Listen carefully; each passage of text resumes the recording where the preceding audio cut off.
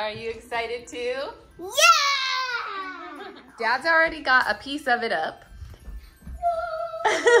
and then we have some more here in the box. And Dad just went into more the here. to get the skirt, skirt for the bottom of the Christmas tree.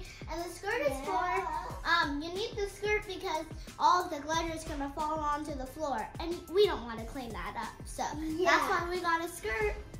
It, it was working hard on trying to get that cord undone.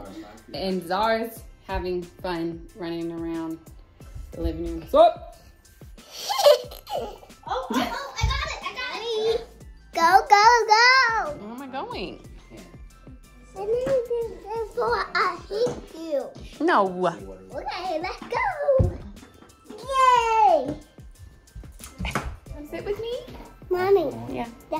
What? What? Guess what? What? You like me. Okay. Now, Mommy, guess what? What? That's good. close, You so let open me? this cap, so this is ready for the next one, right? Yeah. Uh, we'll straighten all that later. Piece number two. Luckily, I have a stool. The Hey, you be careful on that stool.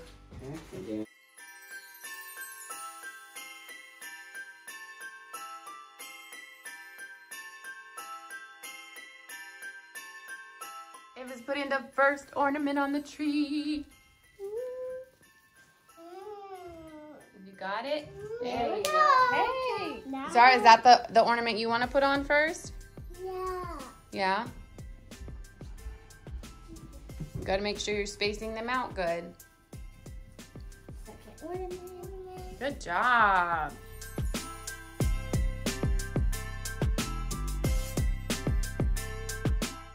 Okay, so these ones were my Grandma Doris's, and Grandma Doris is no longer with us, so these are extra special because these were hers, and so we got to put them up higher on the tree so they don't accidentally have something happen to them, and um, make sure that they're far back on the branches so that they don't slip off because they're ceramic and they could break. But these ones are really, really special to me, so I'm gonna go ahead and put these ones on. Oh, what are you trying to show them? I see my sit with You do? What are you doing in there?